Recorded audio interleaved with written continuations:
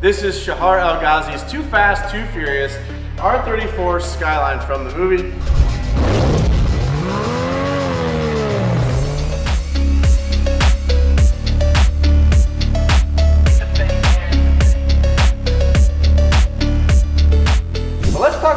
Shoes, Shahar. I know you got a car here, but I think we should really talk about these shoes.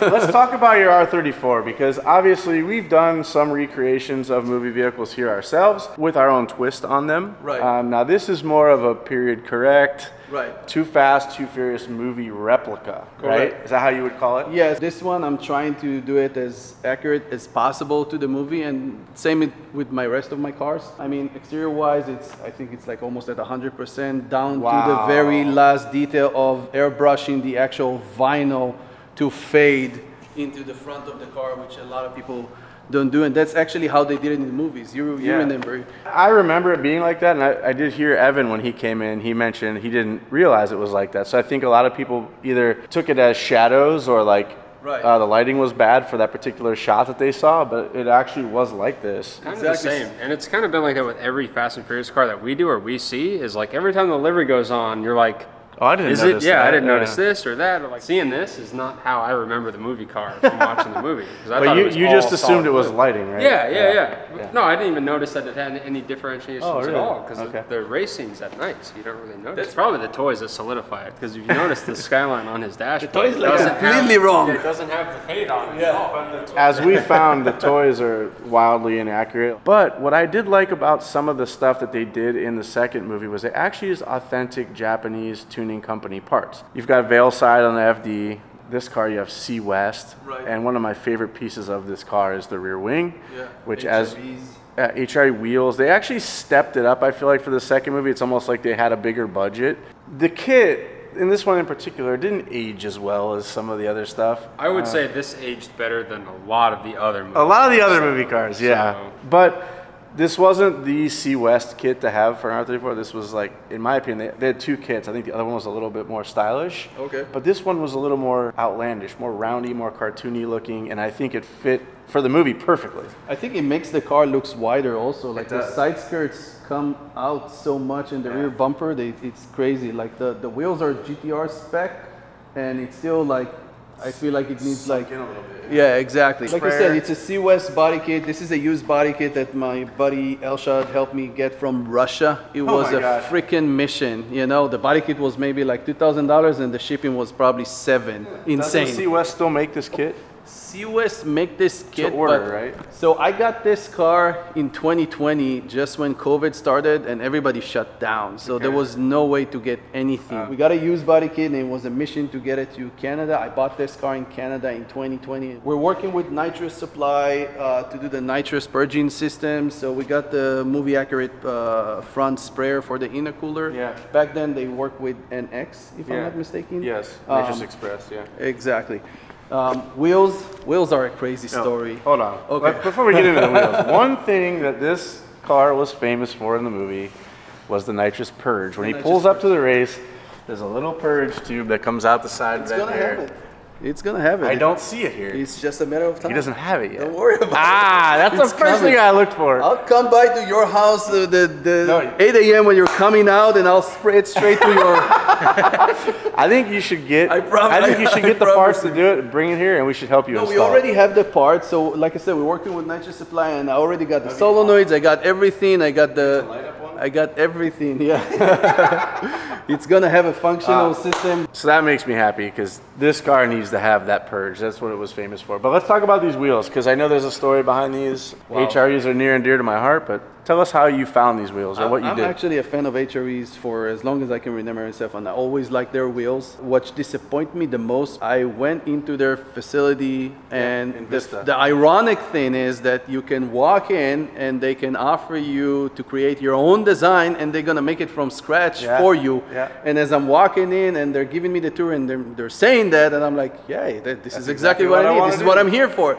I just want you to take this old design that you already have and make it. And they're like, uh, no, we're not gonna do it. I'm like, why? So these Yeah. wheels were so hard to find and so hard to to to get by that it's like insane. In the last five years that I've been building, I don't know, maybe 10, 15 of these cars, and I'm keeping an eye out for those wheels. I've never found one. I did found a guy that lent us a wheel so we can 3D scan the face, mm. and then we had to custom make this wheel remade. from scratch. So I can tell you, the people that work inside of HRE are very proud folks, and they pride themselves on making the finest wheels that they possibly can. Right. I think my guess to why they wouldn't recreate this wheel for you is because this isn't something that they would currently make today. Right. Like this, this is very. If you notice, this amount of material and stuff here that hasn't been pocketed or clearanced or lightened. Like it's very. This is a very rudimentary wheel. Right. But for that era, this was what they were creating, and now they've surpassed that level, and I think they don't want to take a step back. That's Yeah. my opinion. I don't know if that's true. For me, the wheels are super important with any replica uh, I'm making, and some in some of the cases, the wheels actually dictate the car I was building. So Martin and I, uh, the guy in Canada that did this whole thing with me, he actually contacted a wheel company overseas, and we actually worked with them for probably like six or seven months. He went back and forth with them, and they, they sent him samples and everything, and we, we made it exactly to a GTR spec to make sure the offset is great, the, the lips, everything, barrels, everything is And- like 100%. You're going to show us later, but you have picture proof of the actual wheel from the movie cars that you're able, like close-ups that you're able to send to have these. Right. Basically, if you didn't know these weren't real HREs, you you probably wouldn't know, right? Right. And we actually 3D scanned an Oh, authentic Okay, so HRE. Like somebody gave us a face to the actual scan, so that was a, a huge shortcut as well. From that point on, it's just a lips It just barrels. wasn't manufactured in their facility, but it's as close as you could get to the Exactly. actual thing. Really cool story, and that's what I love about these recreations is like digging in deep into your past and how you went about building these because we know how hard it is to find parts for these cars, especially they're 20, 25 years old already now, Right. or whatever it is. I, I guess it's 20 years old. And this one started its life as a 98 Skyline GTT. Yeah. So the slimmer quarter panels, different hood, different Yeah. fenders, different everything. So maybe you can give us some insight on these cars. Because I'm friends with Sean Morris, who was involved in acquiring these cars for the movie set. He told me at one point in time, I don't know if it's 100% accurate or not, but only one of the cars, the hero car, was actually a GTR. So the from rest my- of the cars were GTT. So that's actually wrong from, I mean, from what I know, from what Craig Lieberman was sharing with me. For the second movie, they actually used all GTRs. So Oh, all the cars in the Maybe 2nd I'm movie was GTRs. The, for the Fast 4 movie, they had the hero car as a, as a GTR. The rest of them was GTTs. Ah, okay. And you can clearly see that because the cluster is different. Yeah. And when, when you have all those scenes, sometimes Yeah. they show the cluster and you can clearly see a GTT not cluster and not a GTR and stuff like that. But in Too Fast, Too Furious, I believe all of them were Or GTRs. true GTRs. Oh, wow. So knowing that you started with the GTT, you had to widen these rear arches. Correct. Correct. This car, we did it fairly fast. It's funny because I had it for four years, and then we got the call from the cool gentlemen in, in Liquid Moly to requesting to bring the car for SEMA. Oh, wow. And the car was like completely stuck, and it was like a month away, and they're like, "Will you make it?" I'm like, "Sure." No problem. No. And We've all been there before. The right? car will be there, yeah. Hey, Quinn. Too many times. They're Too many times. Rob from the marketing team, is the car ready? Yes, Yeah, it'll be it's, don't it's worry. ready to start working on. so I, I did called. You, did you use steel? No, we actually used fiberglass. So I called Martin. That was like our, our best bet Yeah. as far as the timeline because to get the steel quarter panels uh, from Nismo was such a hard. Uh, It's a pain in the butt. yeah, so we, we went with And, uh, and fiberglass. it's very expensive. Correct. We went with fiberglass. We got the, the GTR masks. Uh, we actually went to the Nissan, the local Nissan dealership in Canada, and we bought all the OEM stuff for the hood conversion because you need the, the front, you need the hinges, Mm-hmm. Yeah. uh, the gas cap, a bunch of Mm-hmm. you know uh, stuff we needed, and we just started working on it. Fenders, we got everything down to the T. I can tell you guys. I know you're in a rush, you say, but you can. T- I would have thought these were steel. Yeah. I thought you did a steel Oh, replacement because yeah, it's, It looks really nice. it's it's done well and uh, The car was white. Uh, we painted it the correct color. It's a house of color PBC 42 silver that they had. A lot of people, th- some people think it's the Sonic Silver, some people think Oh, it's the, the KR4, but it's not. It's That's, that was going to be a question I asked you, is because this color look, the blue looks very Bayside bluey. Correct. So I was wondering if the car started life as a Bayside blue car and was sprayed House of Color silver, and this was left behind, or if it was a full respray. no, it's a full respray. So the Not- cars. not your car in no, back then in the movie they got just they just got random five or six cars. Oh, okay. Uh, Craig's car was even black, you know, and they just Oh, okay. they they sprayed it uh, House of Color. My, they worked back then with House of Color, Yeah, so yeah. majority of the cars were uh, those uh, color brands. It's like I, I landed there a week or two weeks before SEMA. I landed in Canada. The car was like bone stock. I got there at 4 p.m.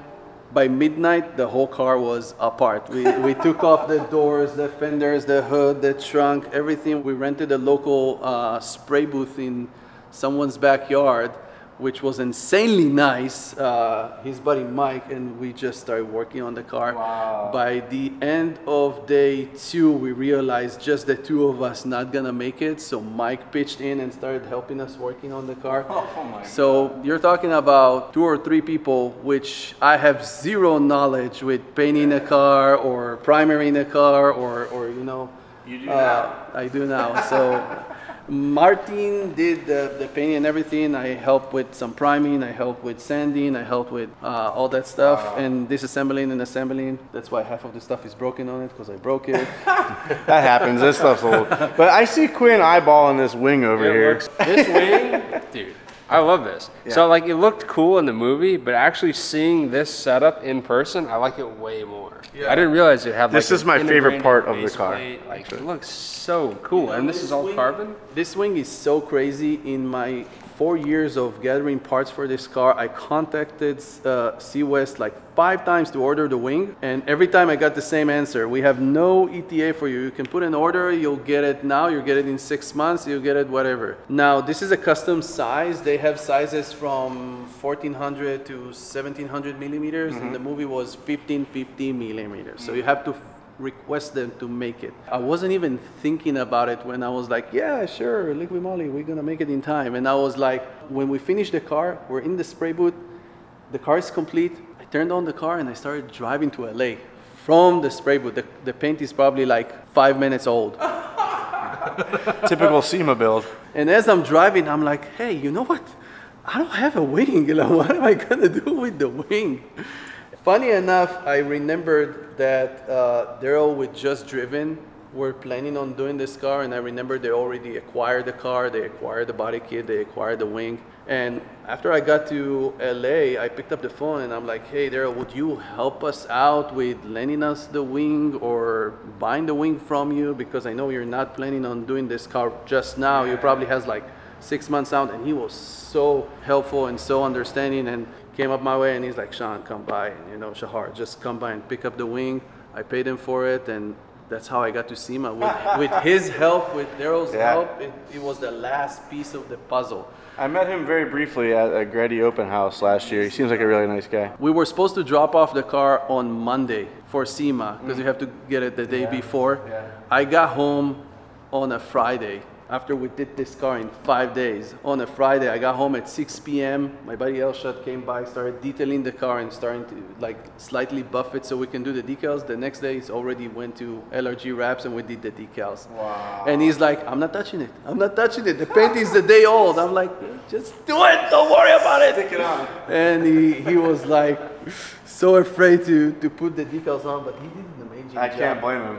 He And that is nerve wracking. I keep doing it to him. You know, my Durango, I had a little, a, a slight fender bender in the back, and I came by and I'm like, hey, I just need the rear stripes in it. And I'm like, how long did you paint it?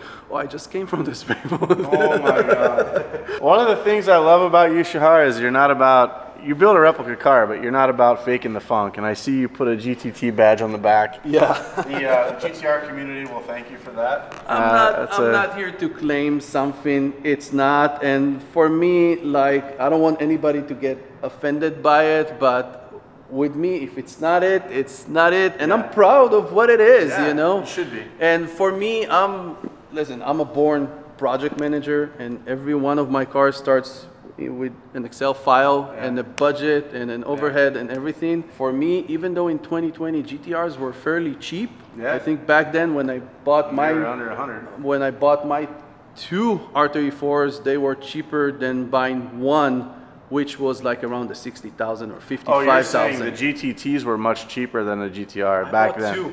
Yeah. In 2020 the GTTs have actually spiked, right? Yeah, I bought two in 2020 for less than what one GTR Oh would gosh. cost back then. But for me back then, I was like, why would I start with a base that's so high and destroy a GTR completely? Because if I'm starting with a GTR to do this project, I'm gonna trash the wing, trash the, the bumpers, trash the side skirts, trash the wheels, trash the interior, trash the steering wheel, trash everything, paint it a non-GTR color. It didn't make sense to me. To make Plus, as far as uh, budget wise. For me, I love it. I'm not cloning it as a GTR because I want to fool people that it looks like a GTR. I'm cloning it as a Fast and Furious car because when I saw the movie for the first time, and back then and still to today, I'm a muscle car guy. I know racing stripes is not, you know, the first thing a JDM Yeah, yeah. guy would do, and I've never seen a, a racing stripes on a JDM. And I know back then Craig said he hated it, but I absolutely love it. Yeah. And uh, the silver with the blue, I'm a sucker for blue. I love this car from the moment I saw it. So, I was like, for me, you mentioned racing strips. For me, Quinn didn't notice the Fade. color change fade, but what I never noticed was the stripes ending at the top of the hood.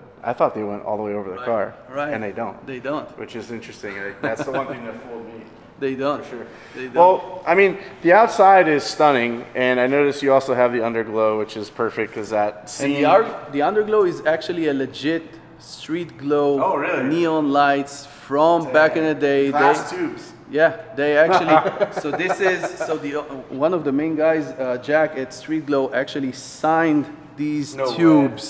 You can go under the car and see his signature. There- It's a tube in a tube Yeah. to protect it, and it's Yeah, it's a insane. I'm so happy. So that's cool. to have like the exact same company that did the neon lights Yeah. on the cars back in the day. I gotta do it. We gotta look inside. Being a GTR R34 owner myself, I know where all the, the wear spots are on these interiors and just kind of the hard things to get. Fortunately for us, a lot of the R34 interior stuff still available, new from Right. the dealership, which is great. Right. Like You just need to sell us a kidney or two yeah, to get it's, it's just expensive. But one thing I noticed is you, you upgraded to the Nismo floor mats, which I love the fact they still have the round logo, Right. even though they're modern. I don't know why they haven't changed that, but Yeah. that's cool because the mid logo stuff's more desirable in my opinion. The seats. This is exactly how the movie car was. So those seats, I think they share the same seats for the RT4, the first movie Eclipse, the first movie Jetta. Like they had those Sparco Torino 2 and Yeah. Sparco Milano. Yeah. Um, They bought a whole container of them probably. they- probably. I mean, Sparco was a big sponsor back then of the movie, and they got everything. Those This old so logos find, are huh? so hard to find. So I have these in my car in 1999, No and I, I loved this because it was an actual seatbelt buckle. Now this looks like you found these brand new, So check this out. not faded. Usually they fade. So check this out. Okay. I bought a set of uh, harnesses off of a Doom buggy or whatever that had this logo. Okay. I got this with the seats to my buddy guy, to my buddy Alex at MS, MSD uh, Upholstery. Uh-huh. I bought a brand new set from Sparco, Okay. and he switched the. He the sewed the he patches switched on. the patches on. Smart So I have like a brand new set. yeah. Up I mean, to how date, else can you pull it yeah. off? You got to be creative. Yeah. I can tell And now. This one looks a little bit more faded than this one. Yeah. This maybe was on this side at some point. But I remember this harness. I had this exact harness in my '99 EM1 Civic. These are so hard to come by. But I days. liked it because it's more like a stock seatbelt, the way Yeah. it functions. Yeah, yeah. And then Shamrock Interior shared with us fabric patches. Oh, yeah. So we can do the interior in the exact Oh, same wait, so colors. Shamrock still had the, the color swatches. We went to visit them in Miami, and they had, and they still had a, a huge photo album and everything. It's crazy to me that that is like the colorway for the car. Yeah. Like it feels like it's wrong because it just looks like it. I don't know. You know, it's just like one of those things that looks so different in person than it does. Yeah, you just gotta remember, which is like, crazy. And During again, the with all those movie, they, filters they wanted they're everything to be bright, right? Exactly. So we did the front and back seats to match the quarter, the back panels, the door cards, and then we painted all the Yeah, this silver is all stuff. silver. Because these are them in black on the And actual it's so seat, easy right? to break them. That steering wheel is so. That's why when you saw me pulling this, I was very Yeah. delicate because I know that that's yeah, been because we already broke these. Mm-hmm. it's it. Yeah, you have to be cautious with these because they're just they're old and they, they break just like the human body. Exactly. It's old and it breaks. But man, this is cool. So you have this is uh, the right wheel with the nitrous buttons and everything. The purge. button. Oh, horn buttons work. That's good. So I connected them to the horn, and this is gonna be my purge. So one of them gonna purge to the intercooler sprayer, and one of them is gonna purge to the bumper.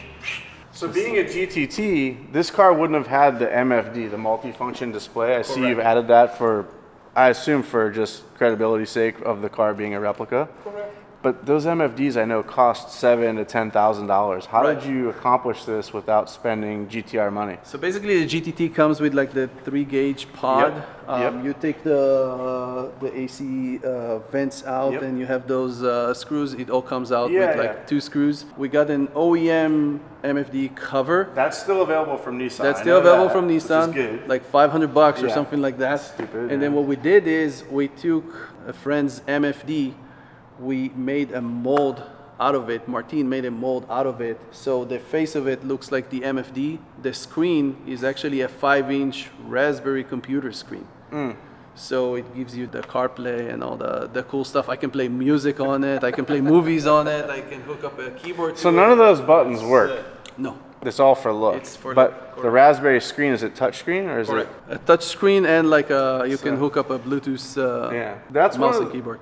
That's one of the cool things. Like I see because the MFD is now becoming 25 years old, they're starting to break. Right. and the market value being seven to ten thousand dollars to buy one that actually functions. Mine recently went bad, and I'm looking for a solution. There Buy are another R34 for that much.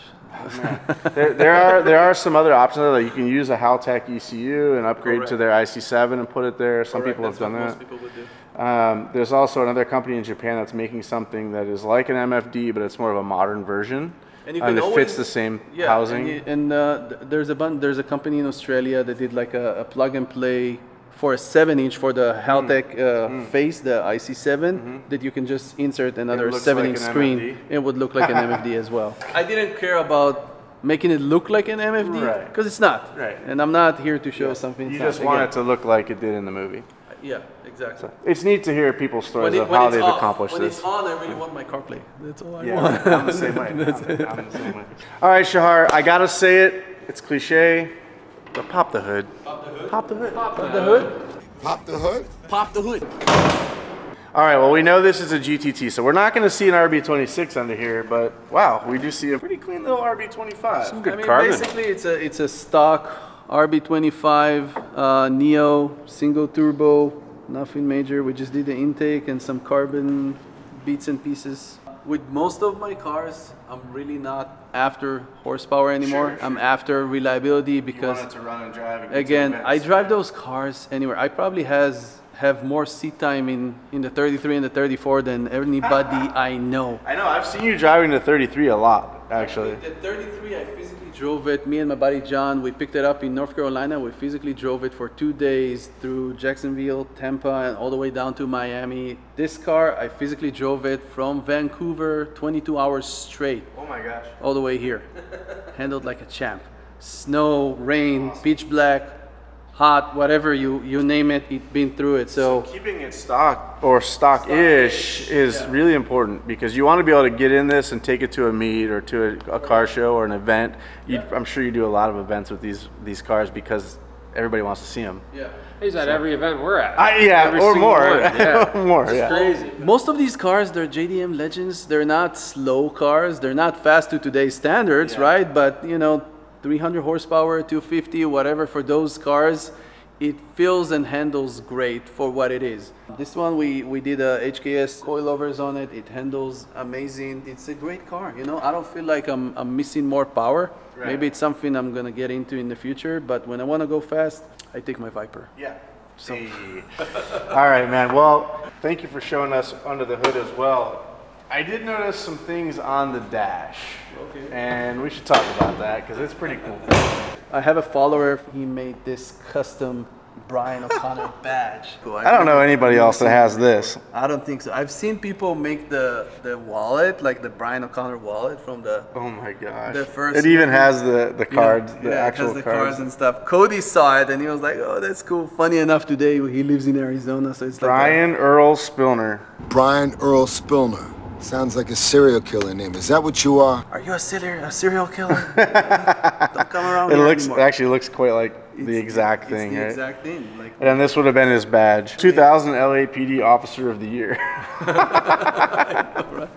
movie so prop only. cool, man. So that's an actual movie prop. Yeah, so it's no. I mean, my, my buddy Mark he made Oh, it, but he just so people don't take Oh, it yeah. out and make it like a Yeah. uh, fake it as a badge. He wrote a movie, prop, only. Oh my god. But it's, it's those little cool stuff that you know. When I started doing these cars, it was like me against the world, and today I have a little bit more following, and I'm, I'm blessed for it, and I'm grateful for it. And sometimes followers would reach out with cool stuff like that, and I'm like, hell yeah, let's do it right now. Yes, you know that the that. shoes. It's like yeah, of course. It's like so you took it from a hobby to this has actually turned into sort of a lifestyle for you because like quinn was saying you're everywhere we go you're there with some of these cars and it's usually not just one of these cars it's there you usually have your Dude, friends yeah. driving like last time six we were, of them Last time we were at Fuel Fest, he took up like two full rows. It was awesome. I love it. Fuel Fest, we had 25 cars. Obviously, none of the, not all of them are uh, mine. We have like today we have like a, a great big team, and they have their own cars, and we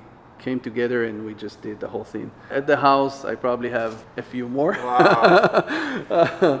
I mean, your passion has turned into something really cool, and and you get to enjoy this every day, which to me is, I mean, this is why you do this, right? Like, To me, I, I moved here five years ago from Israel, and with, with Israel you can modify, but to a degree, like it's it, they're really strict over there. So when I got here and following the movies and all that, I really wanted to do something. I really wanted to own these cars. Back when I lived in Israel, they didn't have Vipers, they didn't have Supras, they didn't have RX-7s, no way so for you Skylines. Really moved here from Israel to chase your dreams. My dream car was the Viper. Yeah. We actually bought the Viper the day we landed. And that explains your the day Instagram handle. the day we landed the day we landed we bought the viper we didn't even have a place to stay. My buddy gave us an rv oh my god. my buddy rod gave us like an 80s rv he hooked it up to power and sewer in his backyard and we lived there for like maybe six months. But you had a Viper. i had two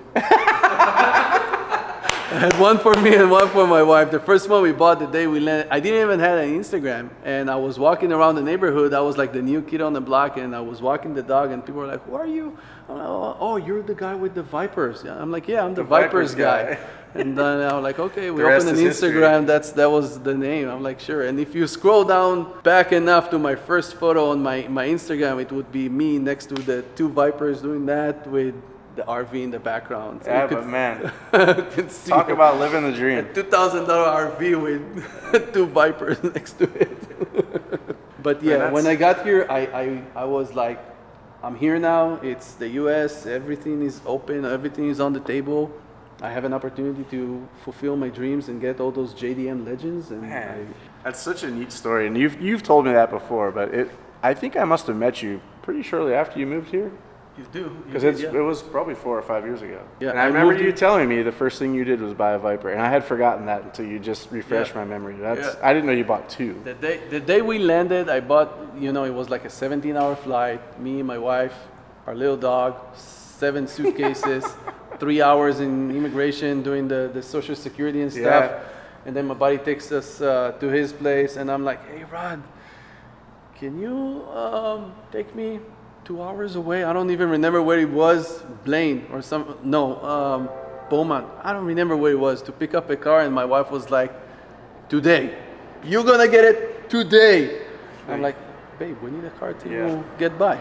Yeah, we need a Viper. we need a Viper. we need a to, Viper, to yeah. go uh, get The most practical and stuff. The most practical grocery getter you can buy. Wait, you know, Shahar, we have a Viper, and we know you're lying. Dude, I bought that Viper, and you gotta understand, Vipers they come from factory with with the first gens. No roof, no door handles, Mm-hmm. Yeah.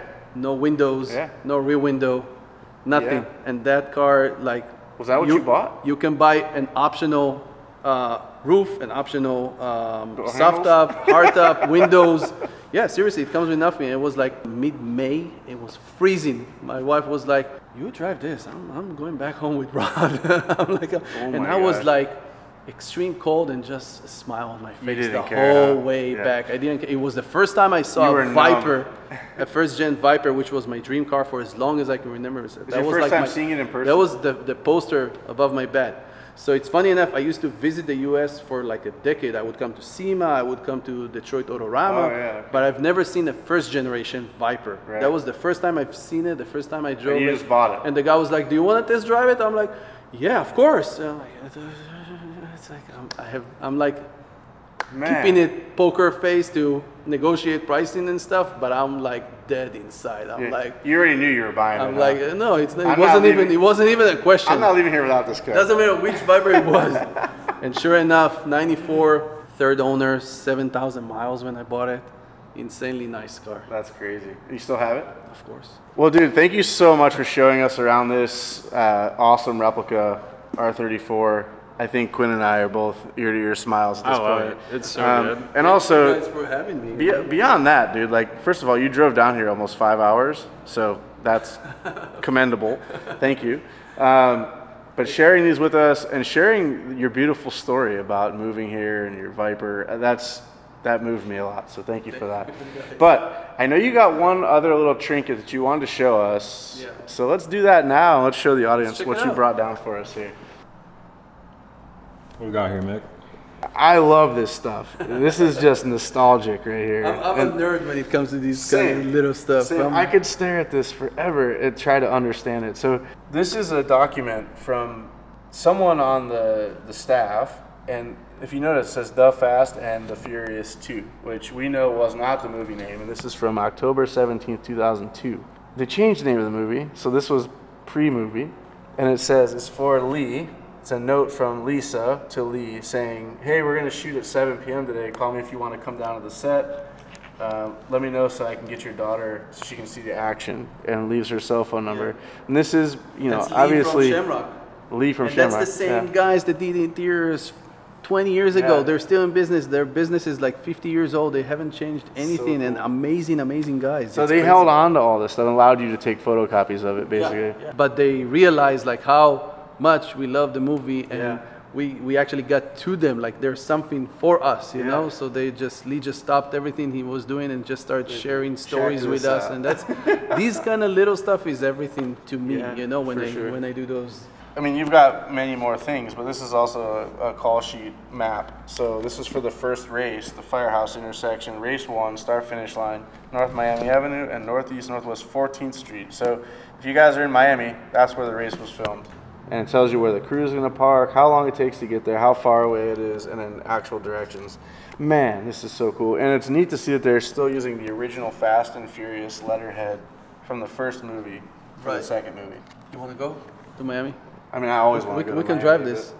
That would be It cool. will make it. That would be really cool. problem. Here's some more letters as well. Talking about different color Recaro logo, as long as it's a Recaro seat. Which is interesting because a lot of the cars had Sparcos, right? The Evos. So it had Recaro. They had like an OEM Recaro. okay. Oh, I see. I see. and then they reupholstery because the the Evos they had like the the Evos were still not in the U.S. Yeah. So they had Evo sevens being transformed to Evo eights. That's why you see those funky tail lights because they had to reshape the whole thing. Yeah. And they had to reupholstery the seats. okay. So So this was with reference to the Recaro trademarking on the OEM seats, and they were reupholstering the seats, so they needed to reapply that for trademark purposes. And you have documentation of it. Crazy man, bro. I can't thank you enough. One for bringing your car down, and driving five hours each way, which is amazing. But to bring this, this to me is Friday traffic from Santa Clarita. yeah, you're crazy. To you're, San Diego. you're a madman, but that's why you're so successful in what you do because you do it for the passion. you- And this is this to me is as important or more important than the cars. Yeah. To me- to to me. me, to me as well. Okay, that's really cool, man. to me as well and it again it's crazy to me that i was able to get like stuff from back in the day on my cars like the fd i have like screen used parts from a movie car on my car. I was gonna car. ask you if you've know? ever gotten your hands on actual screen used parts Yeah, so my or I have- chassis even. I have a friend. His name is Mark. He's in Michigan, and he acquired a few of those cars. And when he upgrade a bunch of those stuff, he just sent it to me, and he's like, "You can restore those control Yeah, arms, you know, yeah. powder coat them, new bushings, new stuff. Just put it on your car." Yeah. And I have it on the FD. He sent me an underglow Man. kit, a broken underglow kit. So. For him, it's something that's like he has the complete car, and that's Yeah. just a little broken piece for him that he doesn't care about. But for me, I'm like restoring a Yeah, neon huge, yeah. uh, tubing kit and just putting it on my car, and it's like One thing out of the first movie that's always intrigued me was always the nitrous setup in the FD, where he lifts up the, the back of the seat forward, and it's got the little golf ball shaped knob to activate the, the Right. NOS, and then he has the little push, Push button on the hazard light that pops out. Has any of that stuff ever popped up? Like, or is that just a one-off thing in one it car? A, it was a one-off. I think the car that actually had it is in a museum in Vegas, and the, obviously the this that seat is not there anymore. Like somebody actually took it, and he has it. I guess he sold the car without it. I actually had a guy 3D making the actual knobs yeah, for that nitrous thing. Everything else is a Sneaky Pete um, sneaky Pete's, yeah. uh, system and uh, odometer gauges Yeah. and stuff, so it's easy to do. And I have spare FDCs at the house. it? Um, it's on the plans. It's. Okay. I guess I. To me, when that's only cool. when I started, I had like one or two cars. Today, it, it became a little bit more overwhelming. overwhelming for just one guy. It's so one thing to build these cars, but then you also have to maintain them so you can get them to events and not have them break down. all my cars are driving, and that's going back to a stock engine and a stock drivetrain, like stock-ish. Keep it simple. keep it simple so all the cars are running i have i don't have one car that's not running and i actually drive each and every one of them almost every other week I want to thank you, Shahar, for coming down here. Always a pleasure for to see your having me, car. I love this thing, and you guys should let us know down in the comments if you want to see more of his cars, more of his builds. I know you have a ton of other Fast and Furious cars you could bring down as well. I also want you guys to let me know if we should take on the challenge of building our own two Fast and Furious That would be R34. Sick. It would be fun. that would be sick Yeah, I have a feeling we won't be leaving the engine stock. i know seeing your cars with your take on what's today's version of it i can't wait to see what you're going to do with the 34 It's been fun. I think all of us have taken a lot of pride in, in building these to our level. It's not the movie replication that what you're doing, which is very admirable. We've taken it and said, you know what? If the car was built today, this is probably what it would look like. And so that's this is why a today's tribute Yeah. with how somebody would build it today if the movie was shot today- today Using today's technologies and just the things that we have access to today, which is pretty cool. I It mean, is. It's come a long It way in 20 years. So i'll take any one of these yeah, they're, they're all great. I mean, but this, you know, if we take on a 34 this year, think we might have to get crazy and actually do something really outlandish and Agreed. fun, and actually Agreed. use the crap out of it. yeah, yeah. You guys are gonna have to stay tuned because we've got some plans. They're gonna kick off pretty soon. Thank you guys as always so much for watching. Don't forget to drop a like down below, subscribe, and we'll see you guys in the next episode.